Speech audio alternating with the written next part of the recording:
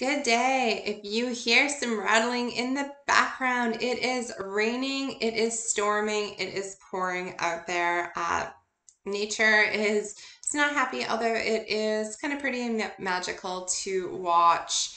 So, hello and welcome. A friendly reminder that on Thursday morning I released a news post that uh, due to your hard work um, throughout this term. We're one third done this course, by the way. We have adjusted the deadlines for Monday's assignments uh, due to Thanksgiving to be now due on Tuesdays. So, same time of day, 6 p.m. for the pre work as well as the wrap up from the previous week. So those deadlines have been shifted. One other thing that I wanted to draw your attention to under content and admin. So right here, we put our recent grads. So these are people that, I'm not going to click into this, um, but people that have gone through either the professional education program from start to finish. Those are the modules from CPA Canada as delivered. Um, they're nationally developed, regionally delivered, so it would be the same modules whether or not you wanted to attend them in Atlantic or out west or Ontario. Okay, uh, we also have people that completed their graduate diploma either through U of T or through Queen's, as well as the master's program through Carleton. So click in there. They provided a brief uh, biography of who they are, as well as their contact information for you to contact them. So pretty cool there. All right, let's dig into results of term test number one. So we had two offerings, the 1 a.m. and the 1 p.m. Atlantic time. Uh, we had, let's see this, we had 12 people do the um, 1 a.m.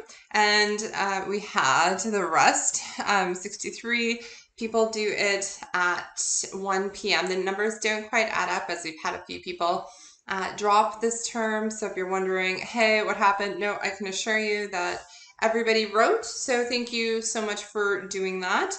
And the results were basically the same, about 85% for each, 85.09 and 84.61. I will say, going through the list, I noticed there was one person in Ontario that chose to write, I guess it would be a 12 o'clock his time. Uh, we got some night owls in in the house, so I mean, or I no judgments. I know in uh, in school, my hours, my peak hours, looked slightly different, and even now. As as a working professional, sometimes I am working late into the night. Although I don't know if that would necessarily represent my best work or just like crap. We we got to get this done. All right, so moving along. Um, we're in part two now, which consists of chapters 15, 17, and 18. And term test number two will be on the last Thursday of this month. Okay. So we also had our CPA Way wrap up, chapter 14. This was our first graded assignment. So we had uh, two people not submit. And of those who did submit, we had an average of 82.1% for the grade. There was comments provided, at least one, hey, this is what you did well and why, and one, this is where you can improve on. So please check that out if you haven't already. As you know, um, you will be submitting your CPA wrap-up assignments uh, each week, minus the week that you have for, you know, the Connect problem set and next term test and you won't know if it's a completion or graded until after. So always put in your full effort. Uh, it's a way that you'll get the most out of the week, as well as a way to maximize your grade here. So friendly reminder that the highest two out of the three grades for your graded will will stand. You're also able to drop a completion assignment, uh, which means that, you know, basically you got some wiggle room in this course. It's it's a tricky course. Uh, it's really designed for you to keep up with it, uh, little bit by little bit by little bit. You know, um, and bringing me into one more thing about keeping up with the course. So I've hidden names here, but I just wanted to bring you into the video and MCQ stats that I run. So for example, in topic four, the debt retirement video. Uh, I have sorted it. You'll see here, I've sorted it by reverse um, completion. So the person here that spent the least amount of time, and I believe this is rounded up, 1% complete, 1% complete, 1% complete, 2% complete, 2% complete, 4% complete, 11% complete. I think you don't need me reading anymore. People, what is the issue with this? I say this with love and kindness. Well, in our syllabus, this is our syllabus, just to prove it to you. That's our syllabus. Um, moving down here, topic videos including MCQs. Each topic is a bullet as listed below in the course schedule. blah, blah, blah. Deadlines.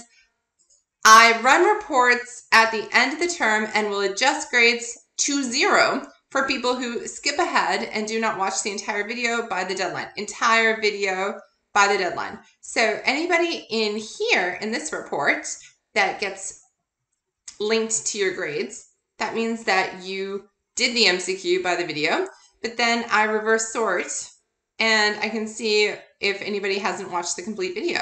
So if you haven't watched the complete video by the deadline, um, and to me, complete video, like I, I know that sometimes, you know, maybe you do the MCQ and then it like, I don't know, there's a few seconds.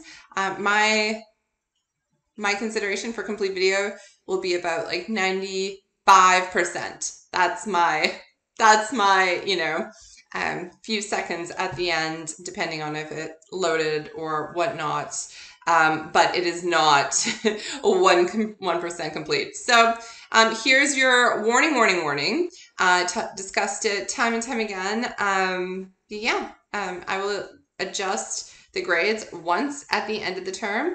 Um, and if you don't watch the entire video, then unfortunately for you, I guess, or fortunately for the rest of the class who um, who did, you know, put in the work and and I mean, I say put in the work, but like you know, this is also gameable, and I'm I'm fair I'm, I'm very um, cognizant of that. But um, there's very similar uh, metrics in place for other graduate level programs, so please um, read the instructions and um, and follow through consistently with that. Okay, that's enough negativity oh, for one video, especially because, um, you know, we had a really strong performance for part one.